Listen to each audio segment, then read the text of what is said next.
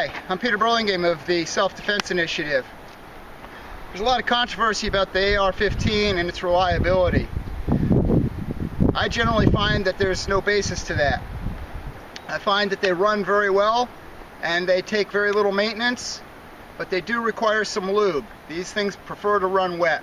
So let's talk about lubing these things. First, we need to unload them. Pull the mag,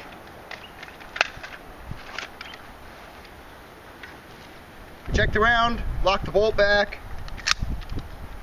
check the chamber physically and visually, same with the mag well, look away, look it again. The first place we're going to lube is the charging handle. So we're going to pull the charging handle back and put a couple of drops on the tops and the sides of the charging handle.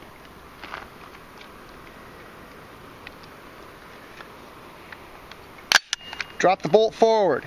You'll see there's two holes right here. Put a couple drops in each of those holes.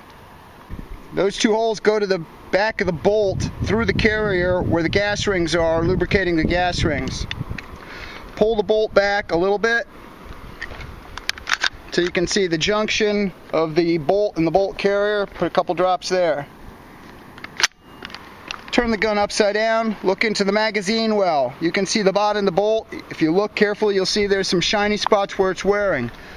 A couple of drops in there. Run the bolt a couple times. You're good to go. This is Peter Burlingame with the Self-Defense Initiative. Thanks for watching. Be safe out there.